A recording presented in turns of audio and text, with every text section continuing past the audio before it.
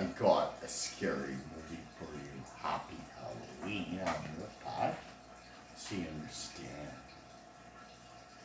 I found a cabin in the woods once upon a time today. This is gonna be hard for me for not laughing, but it was so beautiful. Anyways, it's supposed to be a scary Halloween video, but apparently it's not going to be, so let's just pick it up a notch.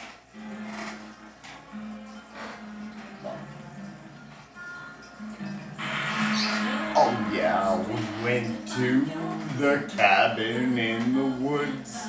We seen a four family, uh, husband and wife and two boys. They made the most beautiful cabin in the woods. If you wanna find it, you have to look at Timmy's. If you ever want it, it might be at Tim Hortons or Timmins. Uh, good luck finding it. Anyways, this was the beautifulest family I've ever seen. These are the things that they used to do. Not used to.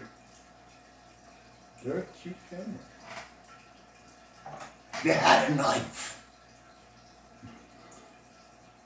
See that I put the like the edge this way so nobody get hurt. So the only person that get hurt would be like me if I like stuck this in my eyeball. So try not to do that. It's very very dangerous and don't expect anybody to ever try that at home. And if you want to practice, you can use a butter knife.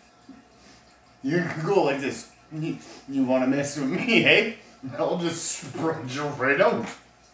Okay? Like you gotta spread the mayo when you uh, shoot a partridge.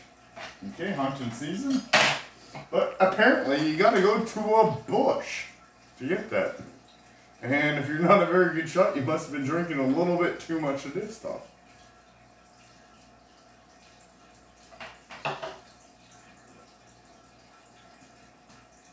And if you can't catch on, got some sticky tape for you.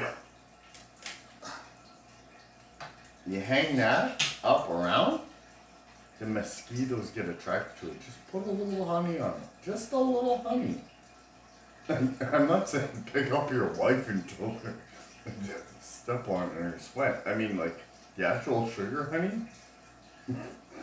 I know that other honey will actually attract the flies, but if you put the actual honey, it will catch them. Yeah. So that's a little bit. Oh yeah, the way we found it, we found it in uh, what was it? The boys' room, right? The cabin in the woods. We found the cabin in the woods in the boys' room. P. Sandy was in the girls' room, but I found the cabin in the woods. So when I peed, I was dry. And she peed too. She's a little wet because it's raining.